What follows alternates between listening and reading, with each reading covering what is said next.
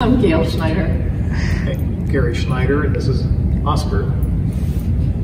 and Oscar's just been trained for a couple weeks of bulletproof training, learning how to be a really good donkey. Thank you. Jacob did a fine job, great job, and we're looking forward to bringing him home after.